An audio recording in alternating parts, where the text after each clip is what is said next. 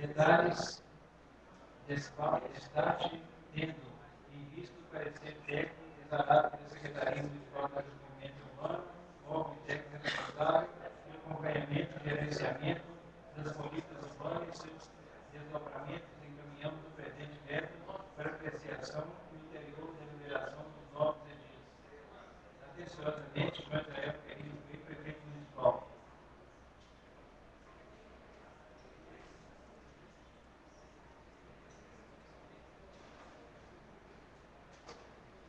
Ofício 619 EP. Itabira 12, novembro de 2012.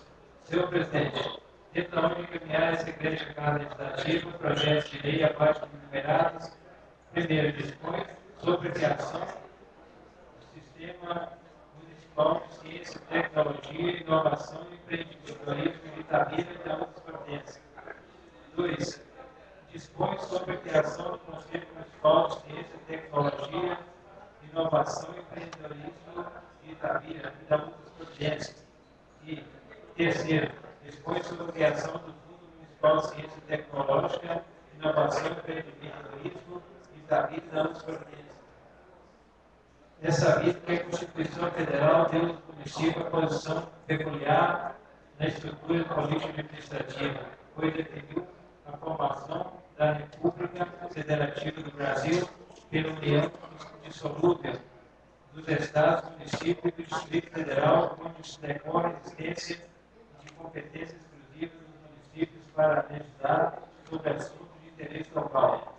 Além disso, o texto constitucional domina como competência do município concorrente com o Estado, Distrito Federal e União proporcional meio de acesso à cultura, à educação e à ciência. Desde que a razão elegeu-se no ordenamento jurídico, município e lei orgânica e com convergência com a norma constitucional reproduziu a competência do município de dar esforços para promoção de acesso à ciência. Assim, fazem-se evidentemente necessárias as legislações que tratam da criação do sistema municipal de ciência, tecnologia, inovação, empreendedorismo e Itabira. O Conselho Municipal de Ciência, Tecnologia, Inovação e Empreendedorismo de Itabira do Fundo Municipal de Ciência, Tecnológica, Inovação e Empreendedorismo de Itabira.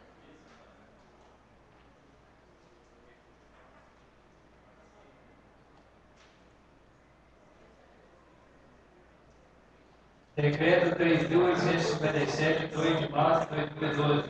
Abre o orçamento fiscal do município créditos suplementares no valor de R$ 72.335. Decreto 3.858, de 2 de março de 2012. Abre o orçamento fiscal do município créditos suplementares no valor de R$ 2 milhões dois milhões doze mil e quinhentos e quatorze reais e noventa e três centavos. Decreto três mil oitocentos sessenta e cinco de cinco de março de 2012 autoriza a abertura de crédito nacional especial orçamento fiscal da outras providências. Decreto 3.905, de 19 de março de 2012, abre orçamento fiscal do município, crédito suplementar no valor de 30 mil reais. Decreto 3.906, de 19 de março de 2012, abre o orçamento fiscal do município, crédito suplementar no valor de 119.875 reais. Decreto 3.943, de 30 de março de 2012, abre o orçamento fiscal do município, crédito suplementar no valor de R$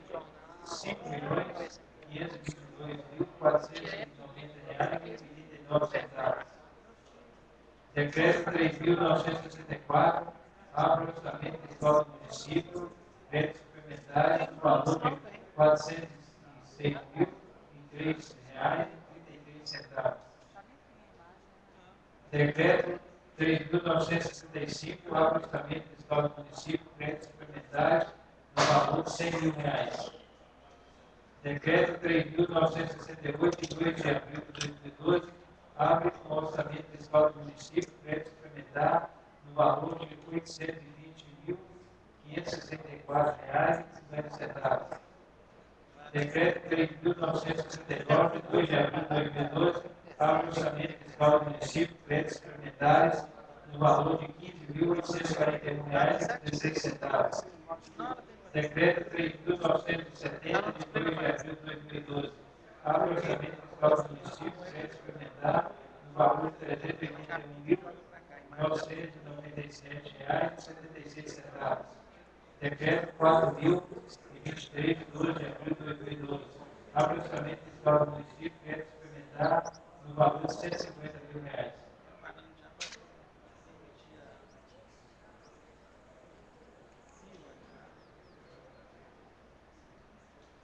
Passaremos agora a leitura de documento vereadores de mesa.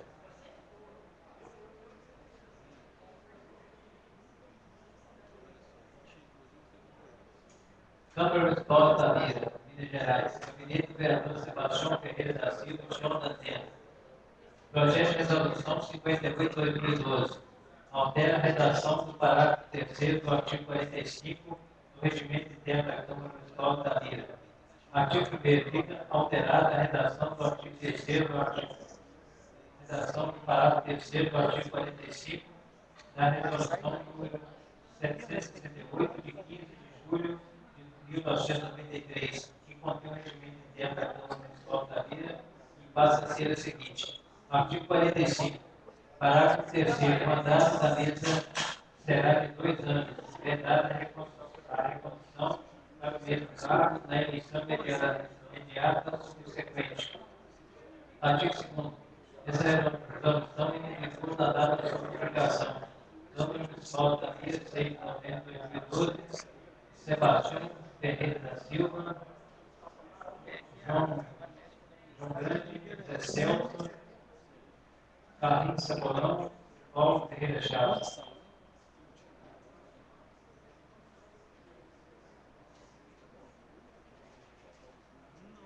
Projeto de resolução 59 de 2012 altera a redação do inciso 1 do artigo 240 do regimento interno da Câmara Municipal de Itabira. Artigo 1 fica alterada a redação do inciso 1 do artigo 240 da resolução número 768 de 15 de julho de 1993, que contém o regimento interno da Câmara Municipal de Itabira, que passa a ser a seguinte. Artigo 270.